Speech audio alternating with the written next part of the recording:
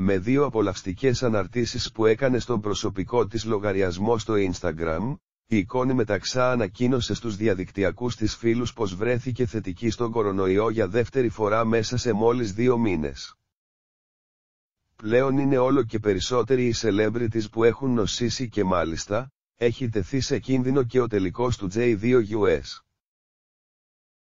H. Κόνη μεταξά πάντως δείχνει να αντιμετωπίζει με απόλυτη ψυχραιμία το γεγονός ότι νόσησε ξανά και μάλιστα, έκανε και χιούμορ για την ιδιότητα του influencer.